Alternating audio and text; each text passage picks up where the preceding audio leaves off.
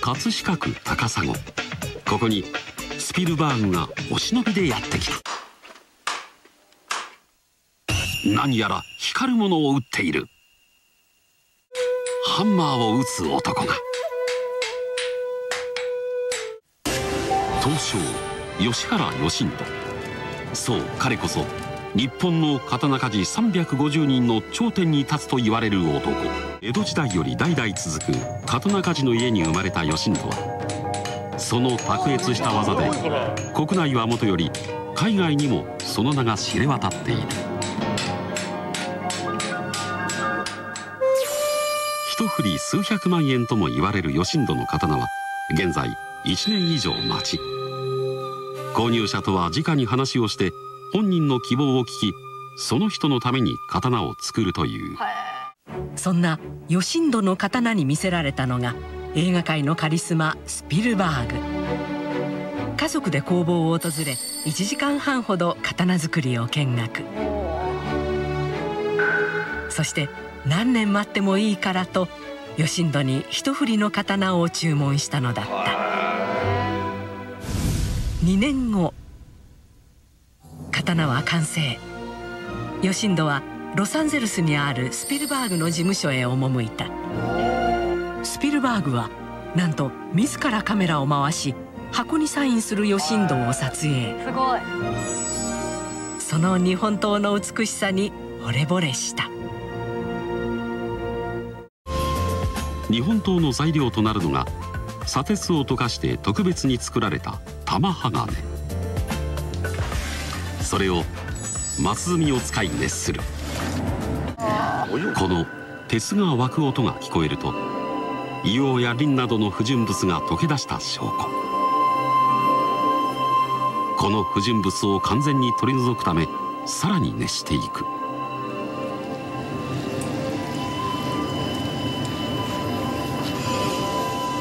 玉鋼が溶け出すギリギリの状態を色と音だけで見極めそして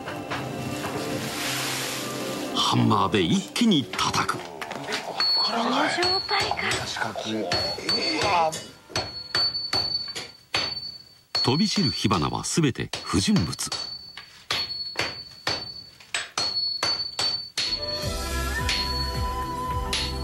さらに真ん中に折り目を入れ2つに折る。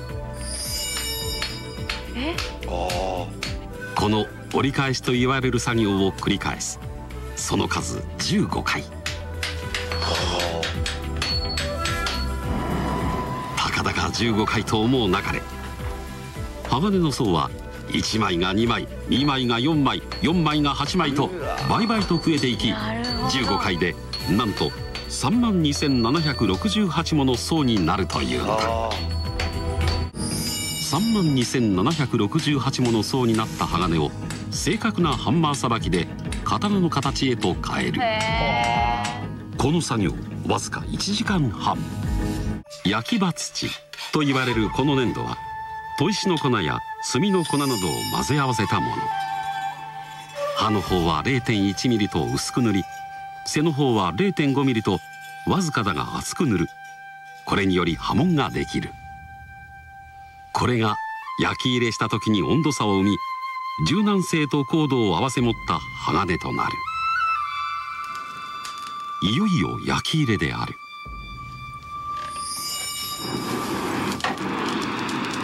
およそ1,000度以上の炎の中に刀を入れる。吉人が狙うのは刀全体が800度に熱された瞬間。刀の温度を色で判断するため暗闇での作業となる。この温度を見誤ったらここまでできたものは水の泡ただの棒になってしまう。不意語で風を送りながら炭の温度を上げていく。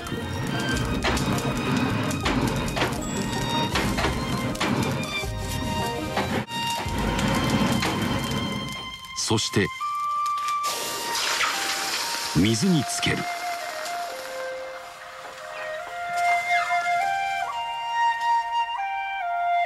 一気に温度を下げることによって鉄は結晶と化し強靭な鋼となる。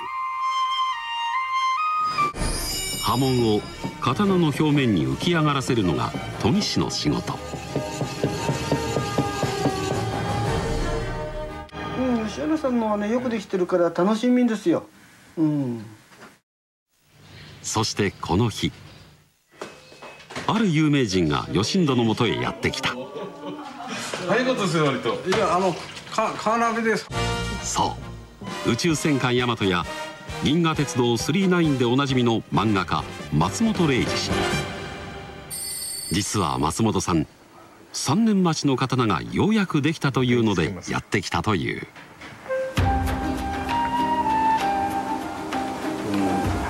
見事なもんですね。自分のロマンが入った刀に大満足の松本さん。